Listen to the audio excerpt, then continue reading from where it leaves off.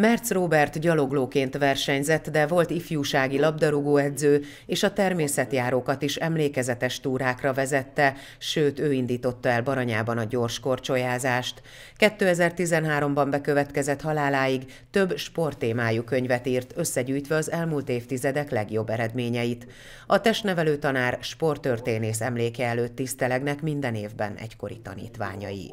Nekem ő volt az első edzőm is, és a felesége az osztály osztályfőnökön volt általános iskolába, úgyhogy ez egy kicsit olyan személyes kötődés is, és amikor ő elhalálozott, a rákövetkező évben tudtuk rendezni ezt a Merz Robert nemzetközi gyalogló emlékversenyt. Az immár hagyományos nemzetközi gyaloglóversenyre szívesen hazalátogatnak pécsi származású olimpikonok is.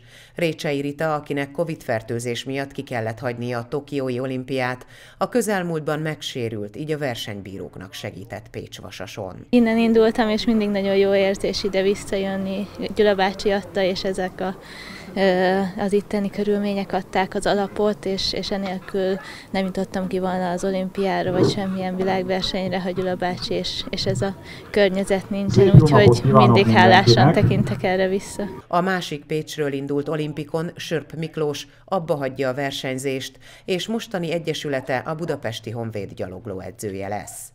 Pécset kezdtem el ugye atletizálni 2007-ben, akkor még a Pécsi Futóklubnál. A klub megszínésével nekem is új egyesületet kellett keresnem. Budapesten tanultam tovább, úgyhogy a budapesti honvédessel úgymond befogadott, és én már tíz éve vagyok honvédos. Mindig jó visszatérni, ugye itt kezdtem, sok emlék fűz a városhoz, a régi csoportból is tartok még egy-két volt versenyzővel kapcsolatot, úgyhogy mindig jó itt versenyezni. Sörp Miklóssal, akinek ez volt az utolsó hivatalos versenye, legnagyobb meglepetésére édesapja, első edzője, valamint a gödöllőiek és a zágrábiak trénere együtt tette meg az utolsó métereket.